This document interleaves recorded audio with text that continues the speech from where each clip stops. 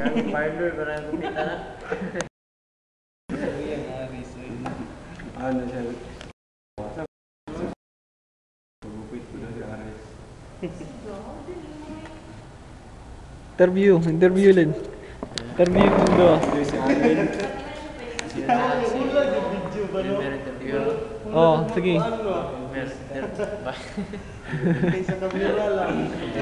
Diba si Mono, si Aris. Ah, si Aris, si Aris na. Aris.